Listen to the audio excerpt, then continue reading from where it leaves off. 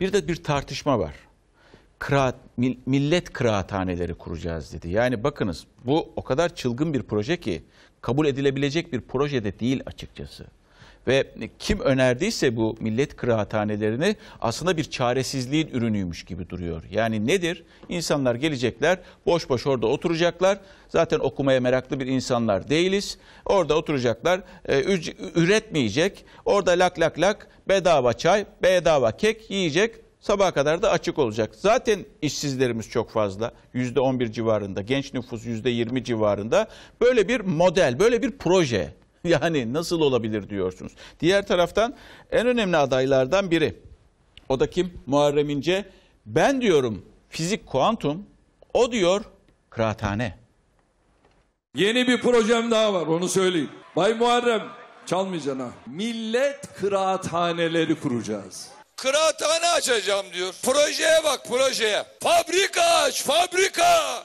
Bacaları tüten fabrika aç. Kitabını alıp okuyacak. Hem de oradan kekini alacak. Çayını kahvesini alacak ücretsiz. Gençlere iş diyorum o bedava kek verecekmiş. Yani diyor ki ey milletim diyor sizi de bu seçimde kekleyeceğim diyor. Kahve açıyor kahve. Kahve açacağına emeklinin cebine para koy para. Külliye, yerli araç, buzdolabı, yollar, köprülerden sonra Erdoğan'la İnce ve Akşener arasında yeni polemiğin adı kıraathaneler. Muharrem İnce Cumhurbaşkanı'nın kıraathane vaadine fabrikayla yanıt verdi. Akşener ise emekli maaşlarıyla. İskambil okey mokey oynama yeri değil ha. Orada iskambil oynanmayacakmış diyor. Ne var sana mı soracağız iskambil oynarken?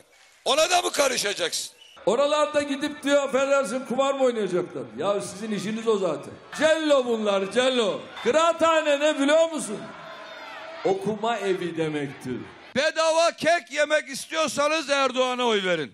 Fabrikada çalışıp ekmeğinizi kazanmak istiyorsanız bana oy verin. Buralar adeta hayata ruh katacak ruh. Emeklilik günlerinde bir kıraathane kuracağım. Orada oturursun. Hem kitap özeti okumazsın, kitap okursun. Hem de bedava kek yersin orada. Kek koyacak çay koyacak. Sen koy cebine emeklinin parasını. Canı nerede isterse orada çay içsin. Sadece